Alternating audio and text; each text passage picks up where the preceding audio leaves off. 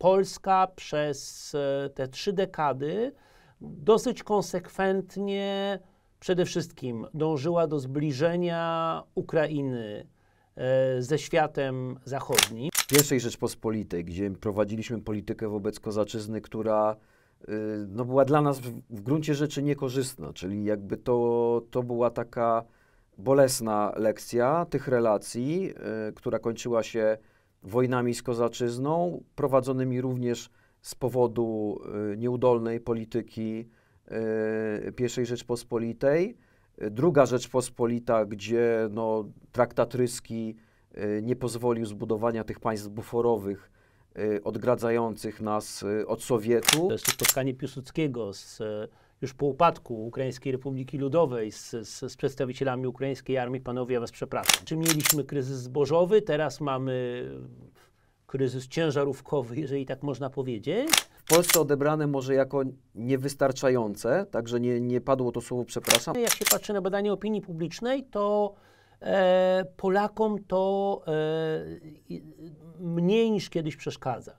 Jeszcze kilkanaście lat temu, e, kiedy się pytało Polaków o skojarzenia z Ukrainą, to tych skojarzeń z historią, a zwłaszcza z Wołyniem, było relatywnie dużo. To popularność to jest e, dla polityka rzecz przydatna, ale to nie jest sprawa najbardziej fundamentalna, tak? Ja myślę, że przyszłość Zeleńskiego się rozgrywa przede wszystkim e, na froncie, a co jest oczywiście uzależnione od pomocy zagranicznej, natomiast e, no, dopóki, e, dopóki miał sukcesy, znaczy miał, dopóki Ukraina miała sukcesy, tak, z Zeleńskim na czele, mm, to to oczywiście do jego popularności zarówno w kraju, jak i za granicą się przyczyniało. E, Natomiast brak tych sukcesów, tu chociażby szczyt w Wilnie według niektórych był takim no jednak momentem pewnego takiego zimnego prysznica, kiedy no, Ukraina właściwie dostała potwierdzenie tego, co było powiedziane w Bukareszcie 15 lat temu, tak?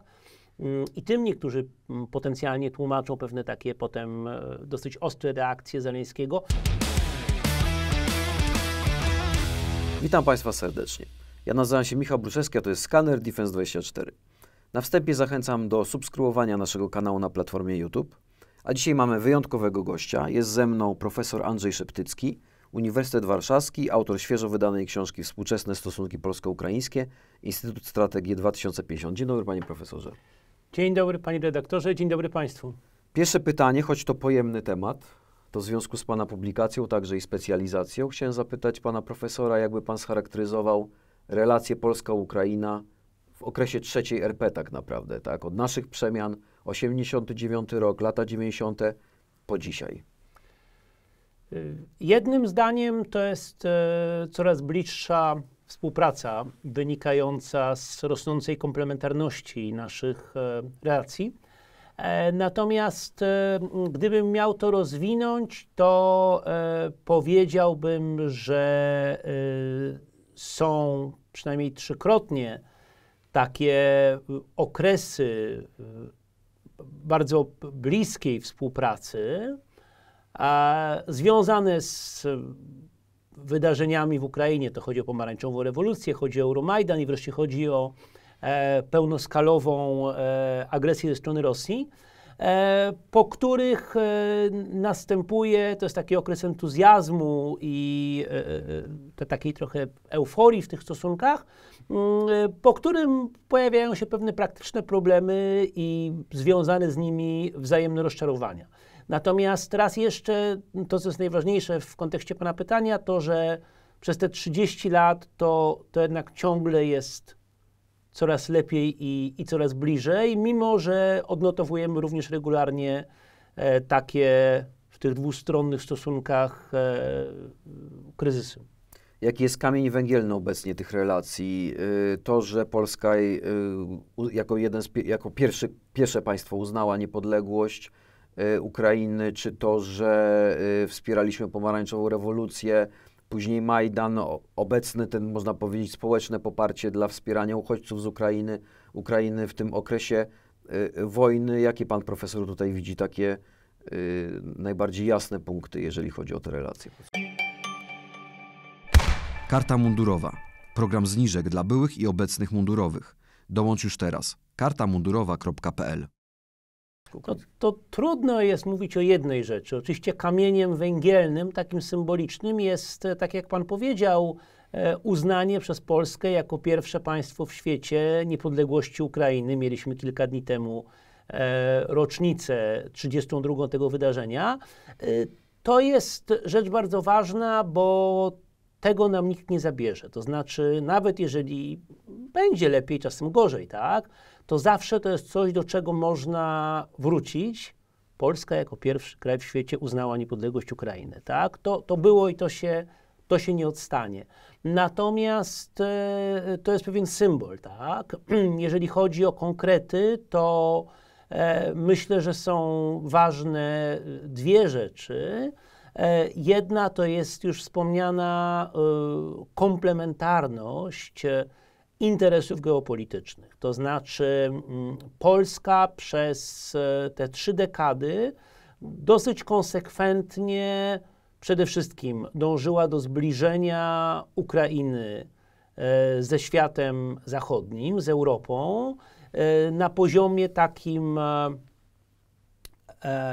standardów i na poziomie instytucji, tak? To znaczy przekonywała e, Ukraińców, ukraińskie władze do tego, że wartości, standardy zachodnie są fajne, a jednocześnie przekonywała instytucje euroatlantyckie, że warto by przyjąć Ukrainę. E, I w tle za tym szła długo niezwerbalizowana, ale jasna w polskiej polityce obawa przed ewentualnym powrotem Ukrainy na wzór Białorusi do strefy wpływów Rosji. Mm, Ukraińcy, ukraińskie władze w tej kwestii były długo niezbyt konsekwentne. To była słynna polityka wielotorowości e, prezydenta Kuszmy. Natomiast od 14 i zwłaszcza od 22 roku Ukraina jednoznacznie w bardzo tragicznych okolicznościach, ale ten kurs, który Polska jakoś prognozowała, tak, zgodnie ze swoimi interesami, mm, Ukraina go obrała i to w naturalny sposób e, przełożyło się na dwustronne zbliżenie. Więc to jest ten, ten wymiar geopolityczny, natomiast jednocześnie jest wymiar społeczny.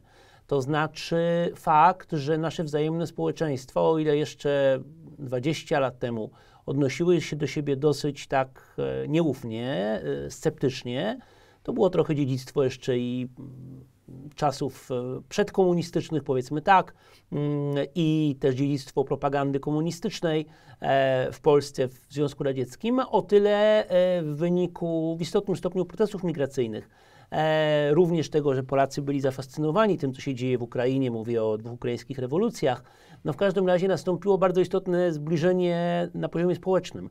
I to było widać na początku pełnoskalowej wojny, kiedy całe polskie społeczeństwo, które nie jest w swojej masie jakieś szalenie takie altruistyczne czy z konieczności obywatelskie, tak, e, rzuciło się, żeby pomagać, tak. To jest taka drastyczna różnica w podejściu Polski, polskich władz, polskiego społeczeństwa do chociażby migrantów na granicy z Białorusią e, i do uchodźców z Ukrainy.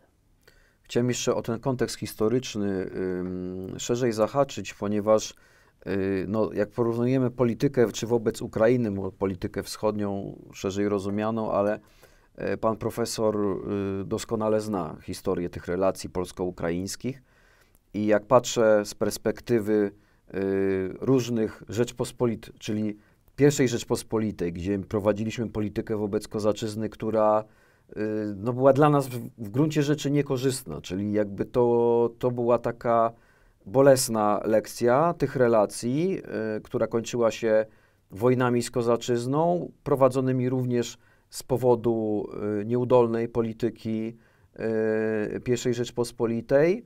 Druga Rzeczpospolita, gdzie no, traktat ryski y, nie pozwolił zbudowania tych państw buforowych y, odgradzających nas y, od Sowietów, także polityka na przykład osadnictwa wojskowego. I teraz pytanie o trzecią Rzeczpospolitą. Pierwsza Rzeczpospolita pewne błędy, druga Rzeczpospolita pewne błędy i czy pytanie o politykę trzeciej Rzeczpospolitej, czy my z tej naszej historii, tych skomplikowanych często relacji, czy my po swojej stronie akurat pytam, odrobiliśmy tą lekcję Pana zdaniem?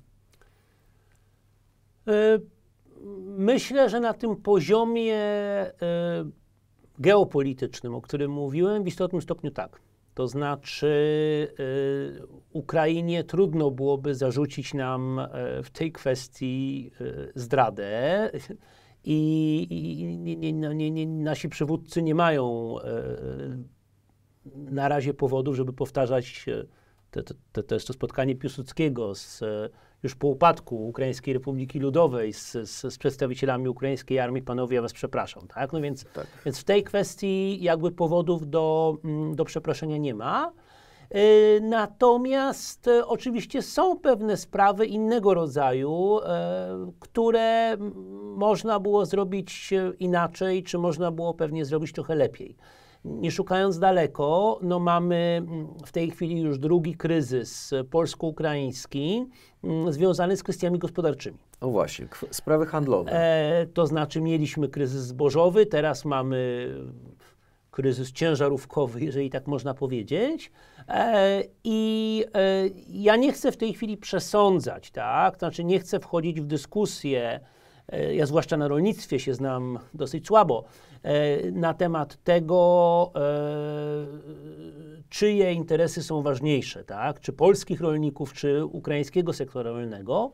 Natomiast to, co chcę powiedzieć, to że decyzja o tym, żeby e, wpuszczać ukraińskie zboże, czy żeby e, wpuszczać e, ukraińskich transportowców po 24 lutego 2020 roku, to, to nie był jakiś czarny łabądź, który niespodziewanie nadleciał i nikt go nie przewidywał. To była decyzja świadomie podjęta przez państwa Unii Europejskiej po to, żeby wesprzeć Ukrainę w warunkach konfliktu wojennego. I znowu mamy w Warszawie, również w Brukseli, e, mamy ekspertów e, rządzących i doradców, którzy powinni potrafić przewidzieć konsekwencje swoich decyzji, bo generalnie za to im płacimy, tak?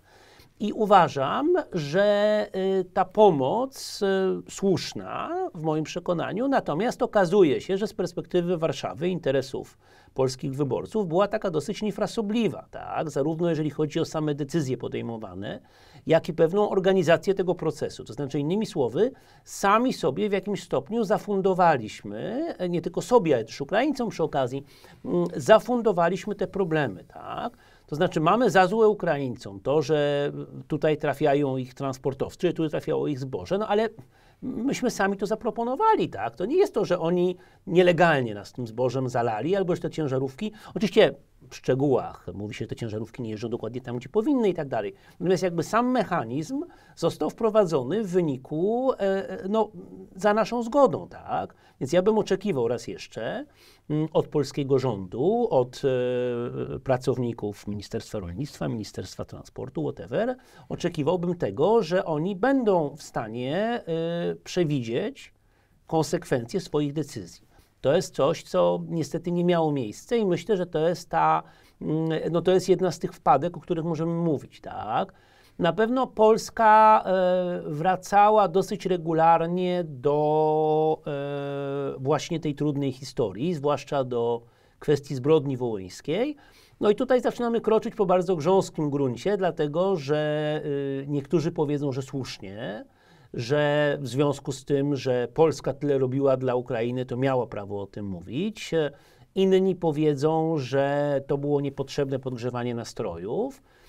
Moim zdaniem, e, przynajmniej teraz, w okresie wojny rosyjsko-ukraińskiej pełnoskalowej, to są sprawy, które powinny zejść na dalszy plan. Tak? To znaczy, już pomijam nasz dialog historyczny, też taki dosyć, ja bym powiedział, burzliwy chwilami, tak?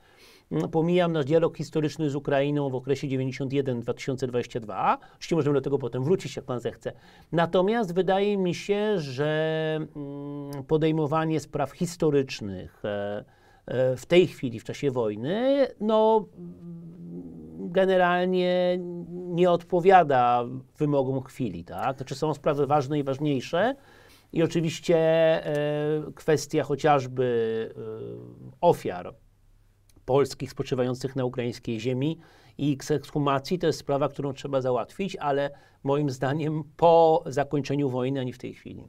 Ukraina ma na pewno obecnie wielkie problemy i gospodarcze, już pomijam same kwestie wojenne. Też tutaj się zgodzę, że geopolityka nie może być uwięziona przez historię, bieżąca geopolityka. Natomiast właśnie nawiązał pan profesor do kwestii wołyńskiej. Tutaj taka refleksja się nasuwa, czy nie udało się jednak coś pozytywnego w tej sprawie zrobić. Mówię o pewnym porozumieniu, ponieważ no, wspólne nabożeństwo z prezydentami, e, też pewne gesty ze strony ukraińskich polityków, w Polsce odebrane może jako niewystarczające, także nie, nie padło to słowo przepraszam, ale jednak mimo wszystko do tych kwestii e, wołyńskich nawiązali też, ja ze swoich podróży po Ukrainie też wnoszę taki wniosek, że y, kwestia Wołynia, czy w ogóle UPA, nie dotyczy jakby y, wszystkich mieszkańców Ukrainy, bo na przykład ja słyszałem takie opinie, my jesteśmy spod Kijowa, to to jest jakby część oczywiście historii, yy, część naszej historii, natomiast bezpośrednio można powiedzieć, jeżeli chodzi o sam region, no to, y, to też nie do końca się z tym utożsamiali, więc y, czy w tej sprawie udało się jednak coś zrobić, Pana zdaniem? O, bez wątpienia się udało, tak? To znaczy, no, to o tym pisał już 20 lat temu Timothy Snyder, że ogromnym osiągnięciem Polski i jej sąsiadów jest to, że e, kiedy na Bałkanach się zaczynały wojny bałkańskie, to myśmy podejmowali próby, może nieco niezborne i zwłaszcza z Litwą, dosyć problematyczne, ale jednak dialogu, tak?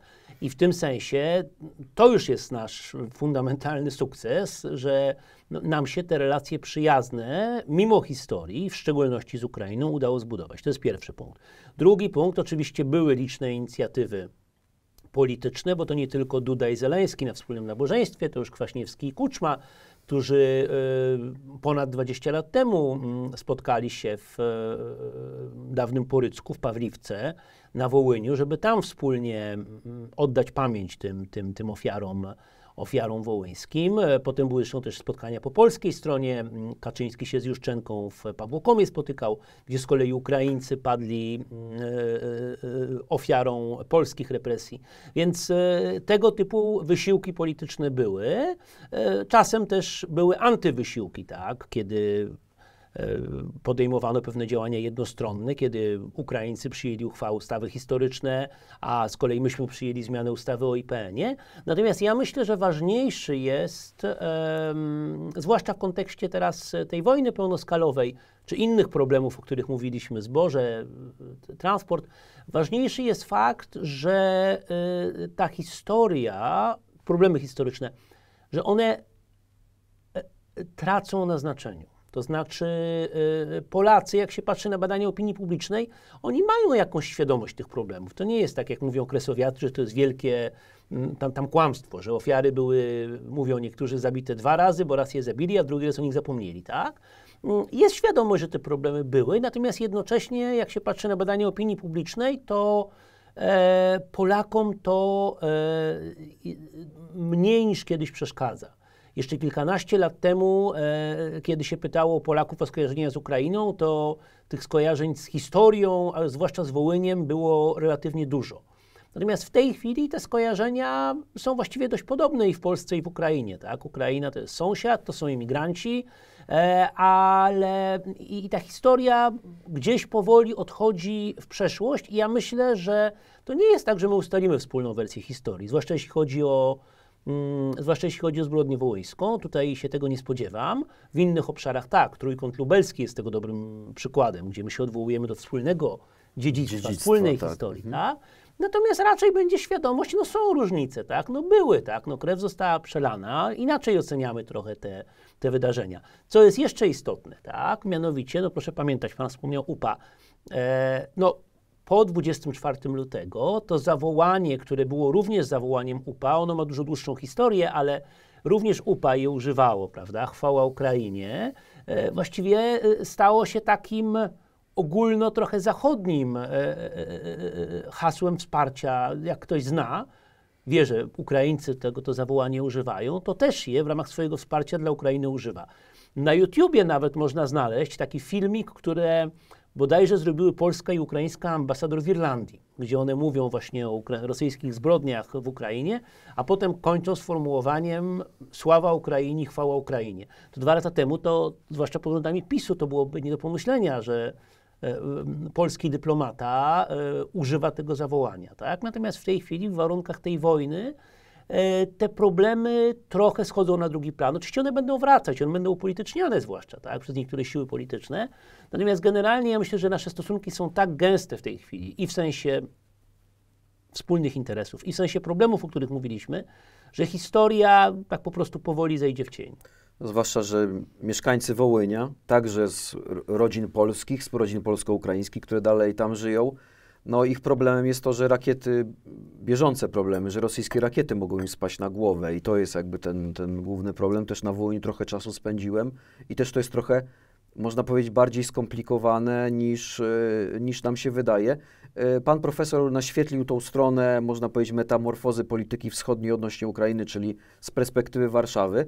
A jaką metamorfozę przeszły elity ukraińskie na tym wektorze dyplomatycznym polskim?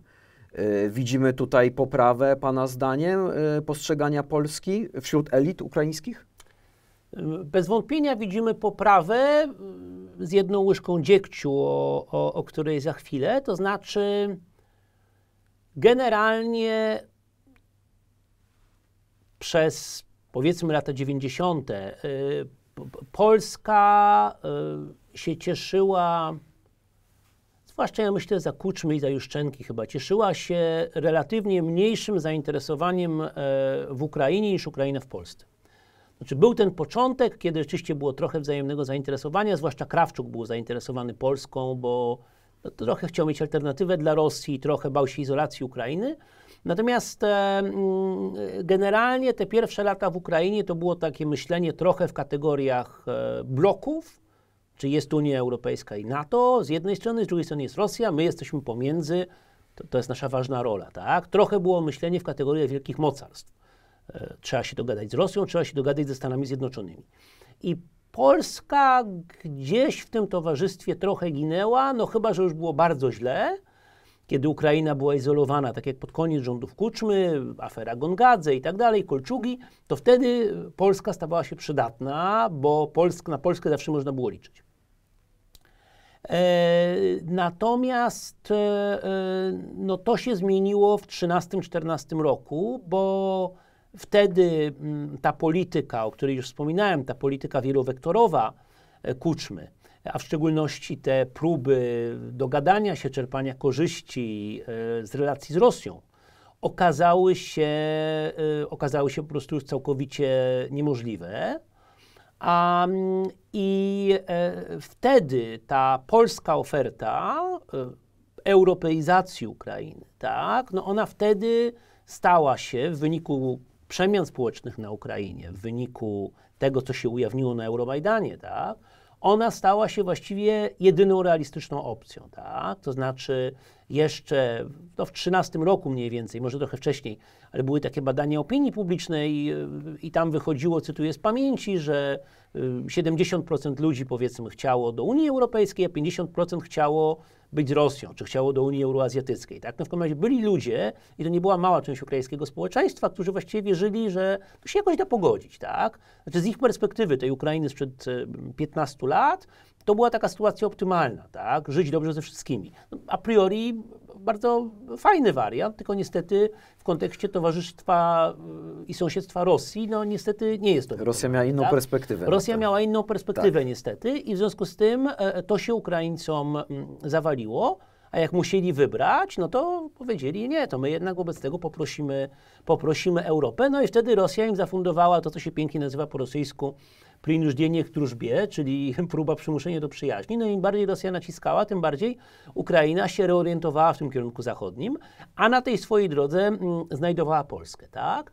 Natomiast, ja powiedziałem łyżka dziegciu, tak? No, e, e, e Ukraińcy są trzeźwo myślącymi ludźmi, i e, zwłaszcza w tej chwili mają dostęp do tych samych informacji, jakie my mamy. Myślę i o elitach politycznych, i o ukraińskim społeczeństwie. I stąd, e, w szczególności pod rządami Prawa i Sprawiedliwości, doskonale sobie zdawali sprawę też z pewnych ograniczeń e, związanych z, ze wsparciem ze strony Polski. Tak? Oczywiście Polska na początku bardzo pomagała, natomiast potem inne kraje również zaczęły pomagać i w związku z tym e, e, te, zwłaszcza konflikty na linii Warszawa-Bruksela, tak?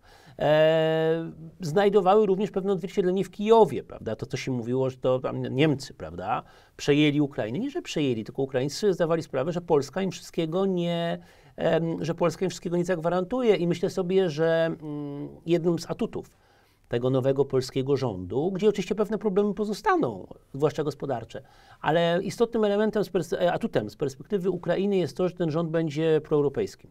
W związku z tym e, Ukraina nie będzie zmuszona wybierać, tak jak chcieli niektórzy przedstawiciele poprzedniej ekipy, m, pomiędzy, e, pomiędzy Polską a Unią Europejską. Sam brałem udział pół roku w, w konferencji, gdzie jeden z e, naukowców, no, bardzo blisko związanych z ustępującą ekipą e, straszył Ukraińców, że Unia Europejska nigdy ich nie przyjmie i w domyśle powinni stawiać na Polskę, a nie na Unię Europejską. No to jest skandal, mówiąc bardzo lekko, tak? Bo to jest jakby zaprzeczenie mm, tym dwudziestoparoletnim wysiłkom Polski, takie, taka narracja, no ale na szczęście to już mamy za sobą. Ale jest wiele opinii na przykład, że yy, prezydent Zełęński przykładowo zachował się niewdzięcznie, bo Polska tak bardzo pomagała Ukrainie, i chciałem pana profesora zapytać, ponieważ pan bada y, politykę ukraińską, przygląda się jej bacznie, y, w jakim miejscu teraz jest y, prezydent Zełęński? Bo była sytuacja taka, gdzie zwłaszcza ta pierwsza faza wojny, w momencie, kiedy już mógł oczywiście opuścić y, Ukrainę, bo na początku wiadomo, z wiadomo no, byłoby to źle odebrane, tak? Więc pozostawał w Kijowie. W pewnym momencie już się to tak uspokoiło, front się przesunął, że mógł wyjechać E, e, za granicę, uczestniczyć w jakichś wydarzeniach zagranicznych. Jego przemowa na przykład w Kongresie USA, te zaproszenie, oklaski, można powiedzieć, e, człowiek oklaskiwany na stojąco i bardzo szanowany, z wielką estymą, traktowany na całym świecie jako bohater. Natomiast obecnie na przykład odmawia mu się możliwości przemówienia w Kongresie USA ze względu na napięty kalendarz, tak? Jest jakby taki dwie fazy popularności zagranicznej Zeleńskiego. Teraz są uczynione różne fronty. Jak pan patrzy tak na to wszystko, to, to jakie refleksje się nasuwają? Znaczy, ja bym powiedział, popularność to jest e, dla polityka rzecz przydatna, ale to nie jest sprawa najbardziej fundamentalna, tak? Ja myślę, że przyszłość Zeleńskiego się rozgrywa przede wszystkim e, na froncie a co jest oczywiście uzależnione od pomocy zagranicznej, natomiast e, no, dopóki, e, dopóki miał sukcesy, znaczy miał, dopóki Ukraina miała sukcesy, tak, z Zeleńskim na czele, mm, to to oczywiście do jego popularności zarówno w kraju, jak i za granicą się przyczyniało. E, natomiast brak tych sukcesów, tu chociażby szczyt w Wilnie według niektórych był takim no jednak momentem pewnego takiego zimnego prysznica, kiedy no, Ukraina właściwie dostała potwierdzenie tego, co było powiedziane w Bukareszcie 15 lat temu, tak? Mm, I tym niektórzy mm, potencjalnie tłumaczą pewne takie potem e, dosyć ostre reakcje Zeleńskiego, również w relacjach z Polską zresztą, tak? Mm, więc e, e, jest kwestia przede wszystkim frontu, tak? To znaczy ta przedłużająca się wojna, E, zwłaszcza jeżeli to, to, to, to, to już nie będą Ukraińcy, którzy odbierają kolejne kilometry, tylko Rosjanie znowu mieliby, to jest dosyć istotne dla Zeleńskiego wyzwanie. Tak? No, druga sprawa to jest kwestia e, tego, co on sam e, parę miesięcy temu potwierdził, e, wymieniając dużą część swojej kadry, to jest kwestia jednak tych porządków wewnętrznych, zwłaszcza korupcji.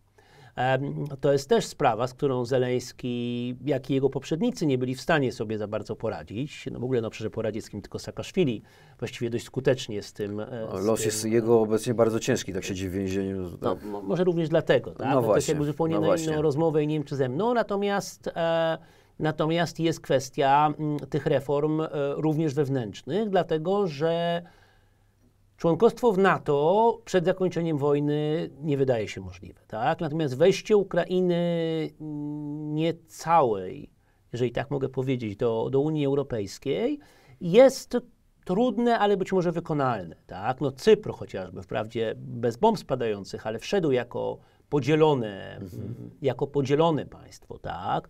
No, Niemcy skądinąd i w, w wspólnotach europejskich i w NATO byli, e, mimo istnienia NRD, mimo braku uznania granic i tak dalej, tak? Ale to były trochę inne czasy.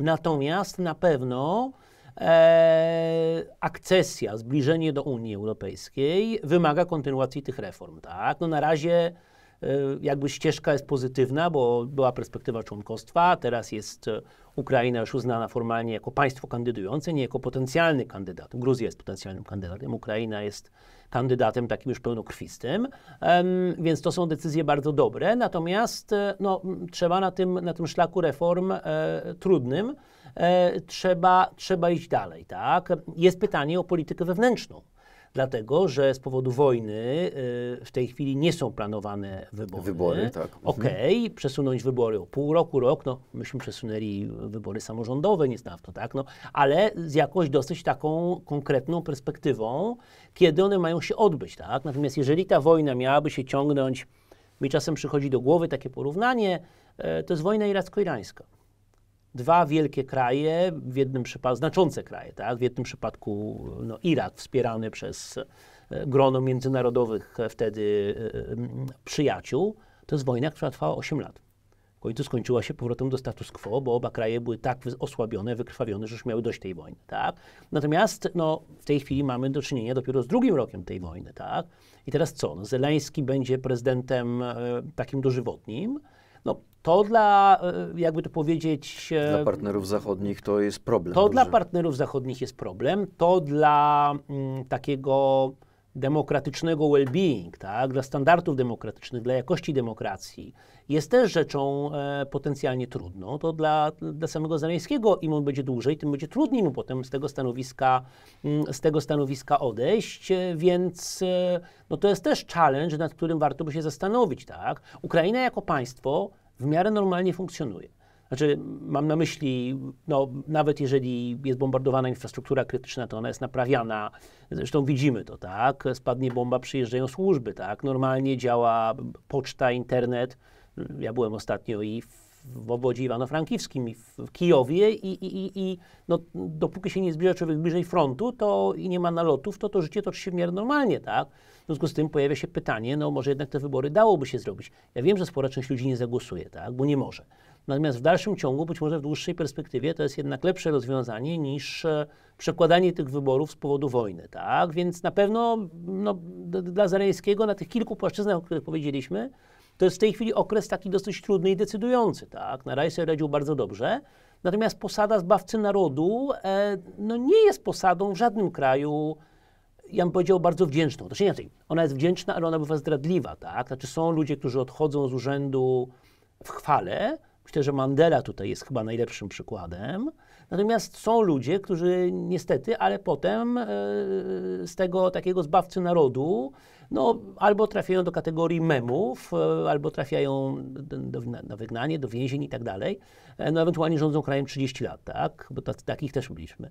Więc jest pytanie do Zeleńskiego, którą drogą on by chciał, czy którą drogą będzie w stanie zmierzać. No, ja mu bardzo życzę drogi Mandeli, ale E, no, Mandela nie miał Rosji za, za granicą. Tak, też siedział w więzieniu, więc to też dla Zełęńskiego jest... Yy, Ale to wcześniej siedział, tak, to zanim został tak, zbawcą tak, narodu. Tak, tak. Yy, no tutaj faktycznie yy, ciekawie pan profesor powiedział, rola zbawcy narodu, którego potem też społeczeństwa mogą obwiniać nawet na wyrost o różne, o różne zjawiska. To jest, to jest też Lecha Wałęsy w Polsce, tak, no, uwielbiany przez jednych, przez innych znienawidzony, a przez trzecich po prostu postać memiczna, tak, no to, to... Chciałem się teraz skoncentrować jeszcze na sam koniec, yy, na ostatnie tak naprawdę miesiące yy, relacji polsko-ukraińskich. W 2022 roku no, zbudowaliśmy ogromny wzajemny kapitał pewnego zaufania, solidarności opartej na pomocy ofiarom wojny. Niektórzy nawet to nazywają pewnym powstaniem narodowym, tylko takim no, humanitarnym, E, po drugiej stronie też osobiście jako reporter jeżdżący na Ukrainie muszę powiedzieć, że bardzo dobrze polskich dziennikarzy Ukraińcy traktowali, w ogóle Polaków wówczas, czy wolontariuszy, czy, czy, czy reporterów. E, problem miał człowiek, żeby z czymkolwiek, za cokolwiek zapłacić. y, zresztą Ukraińcy w Polsce tak samo, i ogromny kapitał. I teraz widzimy z kolei jakieś problemy handlowe, gospodarcze, które wydają się wobec wojny, wielkiej wojny, gdzie no, Rosja bombarduje kraj, gdzie mówimy nie tylko o wojnie samej Ukrainy, ale no, chyba wszyscy możemy stwierdzić, że gdyby nie udało się pod Kijowem, pod Charkowem, pod Mikołajewem zatrzymać wojsk rosyjskich, to apetyty Putina były o wiele większe. Być może państwa bałtyckie, być może także Polska. I wobec tego zagrożenia takie problemy wydają się małe, ale jednak one w jakimś sensie zaburzają te relacje. I teraz pan profesor, jakie tutaj na sam koniec jakieś swoje solucje, rozwiązania by widział, jak to zrobić? Pierwsze, co mi się nasuwa, to takie zaskoczenie, czy między Polską a Ukrainą nie ma takich kanałów właśnie na te specjalne y, sytuacje, które mogą być kryzysowe, na przykład gospodarcze, wysłanników, którzy by się szybko spotkali, porozmawiali na ten temat, ustalili jakiś kompromis dobry dla obu stron. To jest w ogóle możliwe, Pana zdaniem? Ja myślę, że to jest możliwe, natomiast e, wie pan, mamy, myśmy mieli bardzo dobrych dyplomatów, tak? Ja myślę i o ambasadorze Cichockim w Kijowie i o e, Wasylu Zwaryczu, a przedtem jeszcze o Andrzeju Deszczycy w, w Warszawie. E, więc te kanały są, natomiast e, mm, znaczy na pewno dwa problemy wyjaśniają to, o czym pan, to, o czym pan powiedział. Jedno to jest takie dosyć naturalne zmęczenie pomaganiem e, na poziomie i społecznym, i politycznym. Ono przyszło nawet później niż niektórzy oczekiwali, tak? Natomiast to poparcie dla pomagania ono dalej jest, ono przekracza tam mniej więcej 50%, ale ono, ono jednak spada, tak? Ono się do tych 50% od góry zbliża podczas kiedy na początku sięgało 80-90. Druga sprawa, no to jest niestety, mieliśmy w Polsce kampanię wyborczą. I kampania wyborcza w połączeniu z pewnymi obiektywnymi problemami, które się e, pojawiły, również w wyniku indolencji ekipy rządzącej, mm, sprawiła, że te relacje z Ukrainą stały się upolitycznione. Tak? E, proszę zobaczyć, no, zwłaszcza w przypadku tego kryzysu transportowego, e, przez pierwsze tygodnie właściwie było wrażenie całkowitej bierności. Dopiero teraz nowy minister w rządzie, tym takim dwutygodniowym, prezydenta Morawieckiego się objawił, zaczął gdzieś tam jeździć, rozmawiać i tak dalej. Tak? Więc kanały komunikacji pewne mamy, natomiast e, chyba nie było woli ich, e, chyba nie było woli ich użycia. Tak? Ja myślę, że e, minimum uprzejmości, od którego trzeba wyjść zawsze, no to jest kwestia, żeby działać po pierwsze zgodnie z prawem, w przypadku zboża tutaj trochę było działanie na rympał. Natomiast po drugie we współpracy z mm, ukraińskimi partnerami. E, I e, wtedy jest nadzieja, że problemy uda się, uda się jakoś rozwiązać, a przynajmniej uda się zmniejszyć ich, e, uda się zmniejszyć ich skalę. Tak? Na szczęście, chciałem powiedzieć, że nie czekają nas wybory. No niestety czekają nas wybory, wprawdzie inne, tak, samorządowe, europejskie, prezydenckie, więc to może trochę utrudniać działanie, natomiast... E, Czyli pan profesor tutaj nastroje polityczne wiąże z tym Znaczy na pewno eskalacją, polityka, tak, na pewno, jakiś... tak, na pewno polityka, znaczy mówię, obiektywna sytuacja będąca wynikiem wprowadzenia tych mechanizmów, których negatywnych konsekwencji nie przewidziano, to jest raz, tak. Dwa, ogólnie ten pewien spadek e, E, spadek entuzjazmu do pomagania, to się też wiąże z pewnymi czynnikami obiektywnymi, tak? Jeżeli pan rozmawia i to nie tylko w Polsce, bo ja takie same rozmowy miałem chociażby w Czechach niedawno, tak? E, no, o czym mówią Polacy, Czesi i inni? Na przykład o ukraińskich samochodach. No, wielu uchodźców przyjechało tak jak stało, tak? ale tych na ulicach nie widzimy. Natomiast jeżeli ktoś uciekł dobrym samochodem na ukraińskich rejestracjach, nawet jeżeli tych samochodów jest y, mniej niż jakiś ład, czy skot, czy innych, tak, to to się strasznie ludziom rzuca w oczy, tak, i pojawia się wobec tego pytanie, no czemu oni tymi samochodami się rozbijają? No zawsze odpowiedź jest taka, tu bierz tego Mercedesa i wracaj do Charkowa, jak chcesz, tak, na pewno Ukrainiec się chętnie z tobą zamieni, weźmie twoją Skodę i twoje mieszkanie w Warszawie, a ty bierz jego mieszkanie w Charkowie i, i jego BMK, tak, natomiast te samochody, no to są rzeczy, które ludzi trochę, y, trochę irytują, tak, e, niektórych po prostu irytuje to, że słyszą ciągle na ulicy inne języki niż polski, tak? bo uważają, że to, to nie powinno tak być. No, żyjemy w społeczeństwie wielonarodowym, wieloetnicznym w, w, Europie, więc jakby jest to pewna norma już w tej chwili, tak? To samo jest e, w, w Paryżu czy w Berlinie, ale to niektórych ludzi frustruje, tak? Więc jest kilka czynników, z których przynajmniej niektóre, jak mówię, wydaje mi się, że można rozbroić, e, przede wszystkim działając zgodnie z prawem, przede wszystkim działając w,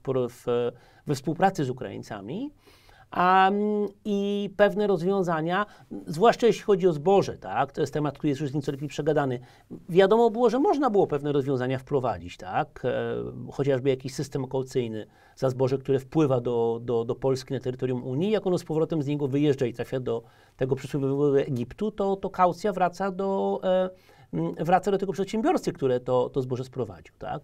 Dlaczego takich rozwiązań nie wprowadzono, a zamiast tego wprowadzano no właśnie jednostronnie ograniczenia, e, bo, bo, chyba nikt o tym nie pomyślał, tak? A może to było politycznie bardziej, bardziej, bardziej nośne, tak? Więc e, myślę, powtarzam się, że to jest e, mm, przynajmniej do pewnego stopnia wykonalne, ale przede wszystkim pod, pod warunkiem działania na zasadzie dialogu i działania w ramach istniejących rozwiązań prawnych. To nie gwarantuje sukcesu, ale zawsze pomaga. Wydaje mi się, że to jednak jest, y, ja przynajmniej tak to obserwuję, też przyglądam się sprawom wschodnim y, wiele lat i no wobec zagrożenia ze strony Rosji, toczącej się wojny, sytuacji, ultimatum Putina wobec NATO, żeby się wynosiło z Europy Środkowej, no to jednak to są rzeczy, które w żaden sposób y, budowy czy partnerstwa czy mówiło się na przykład o sojuszach nawet, no nie powinny, nie powinny zaburzać, więc y, nadzieja jest w tym, że są partnerzy po drugiej stronie, żeby takie sprawy ustalić. Jeszcze y, na sam koniec, na sam koniec panie profesorze, yy, powiedział pan o zmęczeniu pomaganiem. Yy, to zmęczenie pomaganiem niestety widać także na przykład w elitach na Zachodzie. Ostatnio Senat USA, miejmy nadzieję, że ostatecznie nie, ale na moment przynajmniej zablokował pakiet pomocy dla Ukrainy. Jak pan myśli, jak to na Ukrainie, jak Ukraina może zareagować na takie ryzyko bycia osamotnioną na, na wojnie? No, przede wszystkim to jest dla nich zagrożenie o charakterze egzystencjalnym, tak? E, po drugie, e, to grozi z naszej perspektywy, to grozi dwoma rzeczami. To znaczy, po pierwsze, e, spadkiem poparcia dla opcji europejskiej, opcji zachodniej. E, byli przywódcy Ukrainy, którzy jeszcze przed wojną trochę próbowali na tym grać. Tymoszenko chyba najbardziej taka, znaczy nie, nie prorosyjskość, nie prozachodniość, ale jakieś takie, trochę takie Ukraine first, tak? Jesteśmy świetni, jesteśmy wielcy, poradzimy sobie. Oczywiście w warunkach wojny to jest zgubne, nawet bez wojny to jest zgubne, ale to może taka narracja się pojawić, tak? Nikt nas nie lubi, my jesteśmy przeciwko wszystkim, wszyscy są przeciwko nam. I Rosja, i, i, i Zachód, tak? Który nas nie wspiera. No mówię, z perspektywy wsparcia naszego dla aspiracji mm, proeuropejskich Ukrainy, to byłby, to byłby istotny problem. E, no i wreszcie jest sprawa, którą Pan już trochę poruszył, mianowicie yy, w moim przekonaniu jednym z istotnych celów z perspektywy Warszawy, Waszyngtonu, Brukseli ale jednym z istotnych celów, e, przyczyn naszego wsparcia dla Ukrainy po 24 lutego była chęć pokazania wyraźnie Rosji, e, jakie są nasze czerwone linie. To może nie była chęć rzucenia Rosji na kolana, ale to było chęć pokazania Rosji, że e, agresja nie popłaca. I do pewnego momentu ten scenariusz wydawał się realizowalny, mm, natomiast e, w kontekście tego, o czym Pan mówi, to znaczy zawirowania w amerykańskim Senacie, w kontekście tej przedłużającej się mm, wojny, pytanie jest takie, jak długo nasze kraje będą skłonne tę politykę kontynuować. I teraz jest ryzyko, że jeżeli my zrezygnujemy z tego celu, jakim było pokazanie Putinowi, że e, agresja nie popłaca, to jest ryzyko, przecież to nie jest pierwsza wojna Putina, tak? Czeczenia, Gruzja, e, Ukraina w 14 roku, Syria, teraz ciąg dalszy Ukrainy w 22. Więc jest ryzyko, że za 5-10 lat e, wybory będziemy mieli w Rosji w przyszłym roku. Znaczy wybory, to się wybór nazywa prezydenta, tak? tak. E, Ustawka taka tak, wyborcza. E, nie no, wybór jest prezydent, którego trzeba wybrać, tak? To jest bardzo, bardzo proste. No więc w każdym razie jest ryzyko, że za parę lat Putin do tej agresywnej polityki powróci. E, być może przeciwko któremuś z państw NATO, tak jak pan wspomniał, czy jest Mołdawia po drodze na liście, tak? E, I e, jeżeli my się w odpowiedni sposób do tego nie przygotujemy, nie będziemy wystarczająco twardzi, zdecydowani, jednomyślni, jeżeli nie będziemy też rozwijać potencjału obronnego swojego, tak? no to w tym momencie, o tym ostatnio bodajże niemiecki SWP pisał, no to to może być dosyć istotny problem. Rosja się szykuje do wielkiej wojny. I no, my niestety musimy iść tą samą drogą, tak? Zgodnie z maksymą, że jeżeli chcesz żyć w pokoju, to szykuj się do wojny. Tylko w krajach demokratycznych to niestety trochę trudniej działa. No niestety, czy biała, czy czerwona Rosja zawsze szykuje się do wielkiej wojny i chyba innego scenariusza nie możemy zakładać i musimy być przygotowani w tym wypadku na, na jednak to y, stawianie na ten imperializm rosyjski kosztem innych suwerennych państw. No tutaj Ukraina jest y, przykładem tego. No i akurat Ukraina wzięła na siebie to uderzenie Putina. Ostatnio widziałem taki rysunek, trochę żartobliwy, ale niestety celny politycznie gdzie ukraiński żołnierz y, z protezą nogi, z ręką na tym blaku, tak ledwo stojąc stał i, prawda, politycy z zachodu w garniturach, yy, chmurka nad nimi, że y, nie wiemy jak ci to powiedzieć, ale trochę zmęczyliśmy się już wojną. I to jest takie trochę i przewrotne, ale niestety bardzo prawdziwe. E, tutaj postawimy kropkę. Bardzo dziękuję panie profesorze za rozmowę. Dziękuję bardzo. Będziemy wracali do tego tematu. Moim państwa gościem był profesor Andrzej Szeptycki, Uniwersytet Warszawski, ekspert do spraw wschodnich. Bardzo dziękuję. Dziękuję.